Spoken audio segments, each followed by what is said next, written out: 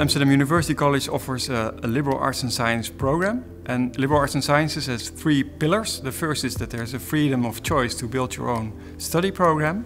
The second is about connections, so connecting disciplinary fields, um, systems, uh, concepts and cultures.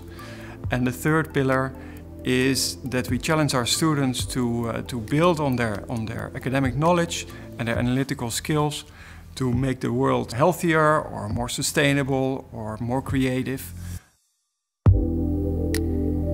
Most of the students continue with a master program, uh, but some of them uh, find a job as a researcher or a consultant, for instance, and, uh, but some of them also start their own company.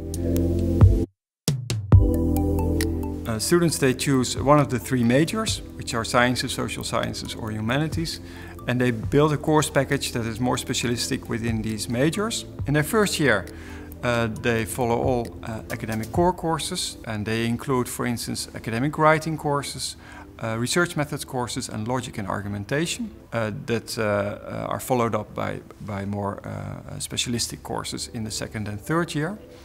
Students also follow an internship or a research project and they finalize their program with a capstone thesis.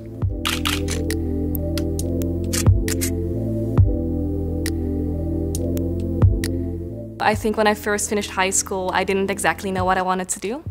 So when I found AUC, it just really seemed like the perfect place for me to explore all of my different interests and still just get a good degree. And I think second of all, the fact that AUC came with dorms and a campus was just really amazing so I could find a cheap place in Amsterdam.